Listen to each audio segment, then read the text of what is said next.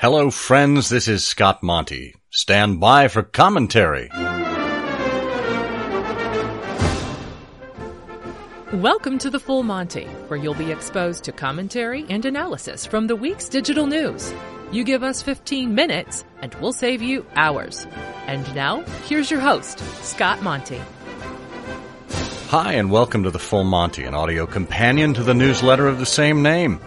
Each week, I pick a couple of the more pressing issues and inject insight, opinion, and wit into this 15 minute show that's sure to give you a better sense of what's affecting the industry. Maybe you'll agree, maybe you won't, but I hope it makes you think. This week, a look at how LinkedIn promotes spam and considering the cult of personality in the wake of Charles Osgood's last CBS Sunday morning.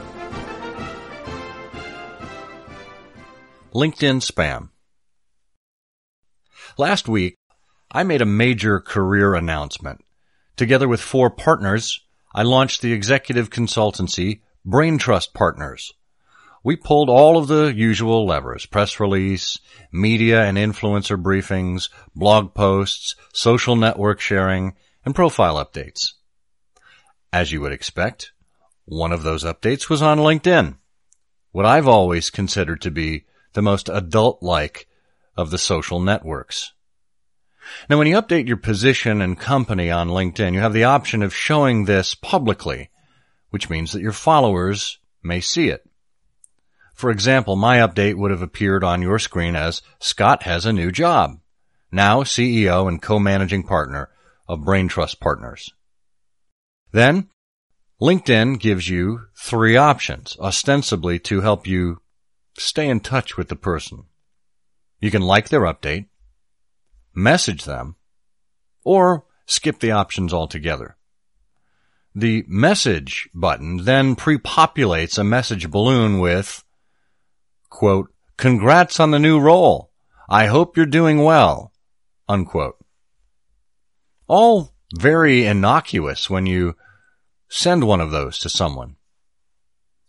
But imagine being on the other end of that messaging system for a moment and receiving literally hundreds of greetings that were carbon copy or only slight variations on congrats, congrats on, the, new role. Gig. I hope, I hope you're, doing, doing well. well. Yeah, that creates a culture of spam. It's not that users are lazy necessarily, it's that LinkedIn's user interface or UI has made it all too easy to take a shortcut that tries to be human, but then ends up doing just the opposite. So I wrote a letter to LinkedIn. Dear LinkedIn, this may come as a shock, but I need to see other platforms. I've sneaked around on you before, yet I always return because you've been the most professional social network, and I've blindly maintained a sense of loyalty. But I'm afraid I just can't go on like this any longer. You were always utilitarian in a way that served my needs perfectly.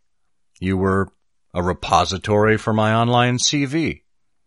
You allowed me to connect with other people I've met in real life. You allowed me to share links, join groups, or even pen longer pieces. But lately, well, you've let yourself go. Your new messaging interface is confusing. It's all too easy to click on add connections when I'm trying to get to the drop down see invitations from the notifications toolbar. And good lord, those invitations. I have to hover over that little mail icon just to see the message. And since you no longer allow users to customize their connection requests, every single invitation begins with, I'd like to add you to my professional network on LinkedIn. Every single one. Maybe there's a way to customize that. If so, I haven't found it on the mobile app. And the slick interface you've created on the web version of the people you may know page is full of connect buttons, which, when I click on them, shoot out a request without giving me the option to customize an invitation. That's awfully inconsiderate and impersonal of you, don't you think? And in this hyper-connected world where we're all looking for contextual relevance, you've managed to remove that. I would hope that at your age and your maturity, not to mention your market cap, you'd be able to hire some UI designers or UX designers that could give you the counseling and therapy that you so desperately need right now. If you do that, I know you'll make some other users very happy in the future. But for now, I need a break. To be clear, it's not me. It's you. Are LinkedIn notes just copied quotes that come from an inferior app? Maybe I'm hazy. Are people this lazy? Or maybe the UI is just crap. Get your trivia skills ready for the naked truth. This week's Naked Truth trivia question. What audio behemoth says it aims to be the Netflix of music radio with its phone first strategy? Answer at the end of the show.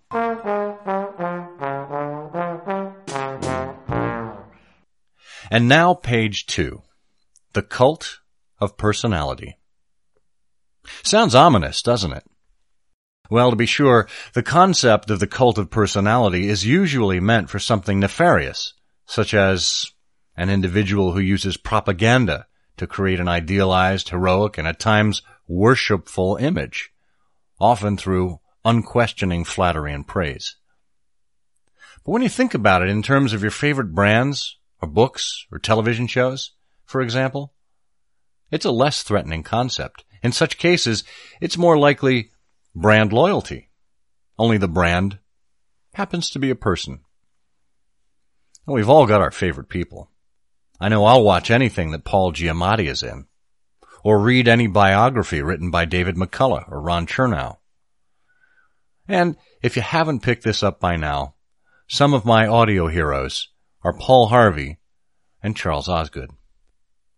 Osgood in particular interests me we share an affinity for bow ties and for semi-passable doggerel, that style of poetry that's more suited to Dr. Seuss than William Shakespeare. And you probably know by now that on September 25th, 2016, Charles Osgood celebrated his final appearance as host of CBS Sunday Morning, a role he held for 22 years. The entire broadcast was a tribute to Osgood and his style and was accompanied online by the hashtag celebrating Charlie. Throughout all of the crescendo to his final show, there wasn't a single word about his replacement. While there may have been speculation in the media, it didn't rise to a point where it dominated the news. The focus was still on Charlie. Even when he turned to his successor, Jane Pauley, in the last five minutes of the broadcast, she turned the focus back to him, letting everyone know that Osgood's famous bow tie would be welcomed into the Smithsonian Institution's National Museum of American History. That's what you call the cult of personality. And it'll be difficult for Pauley to fill his role. She'll have her own fans that she'll bring along, but there will be a sense of ennui and wistful longing for Charlie on Sunday mornings all across America. And Pauley certainly won't be wearing a bow tie. And so I'll leave you now for Charles Osgood to close like he always did with a poem and my own version of his sign off. For those who have lusted to be honored and trusted, a bow tie, I say, doesn't hurt. For it isn't your tie that most people will eye, it's the soup stain there on your shirt. I'll see you on the internet. We asked you what well-known audio company aims to become the Netflix of music radio. BBC Radio 1 has a new strategy that starts with commissioning 25 hours of programming that will be made available on demand. If you have an editorial you'd like us to read on the show, please get in touch with us at fullmontyshow at scottmonty.com. And if you've enjoyed this series, please consider becoming a patron and show your support at patreon.com slash scottmonty or click on that orange button directly on FullMontyShow.com. And please consider leaving a rating or a review for us on iTunes.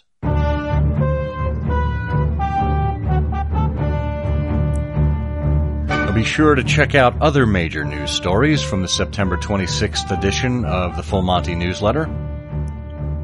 Facebook overestimated video metrics for two years.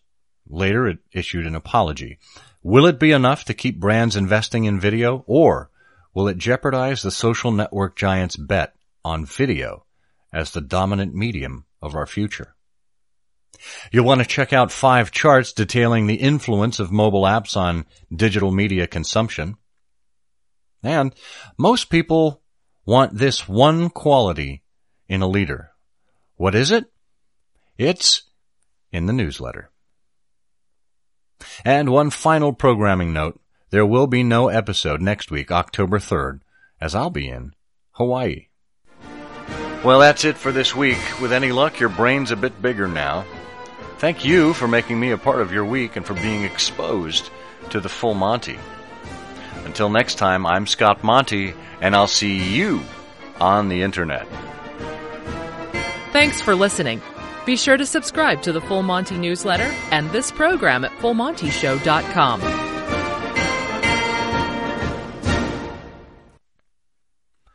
A hooey hoo.